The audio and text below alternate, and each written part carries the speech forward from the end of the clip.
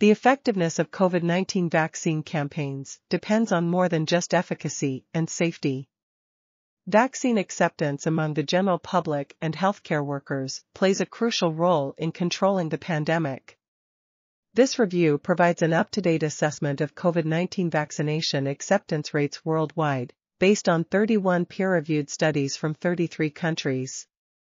Among adults representing the general public, the highest acceptance rates were found in Ecuador, 97%, Malaysia, 94.3%, Indonesia, 93.3%, and China, 91.3%.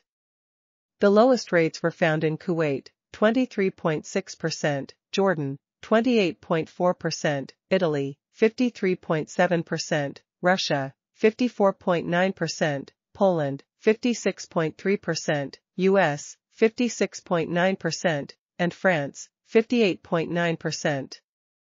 Only eight surveys among healthcare workers were found, with acceptance rates ranging from 27.7% in the Democratic Republic of the Congo to 78.1% in Israel.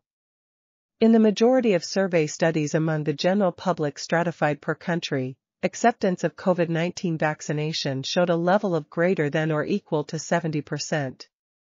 Low rates of acceptance were reported in the Middle East, Russia, Africa, and several European countries.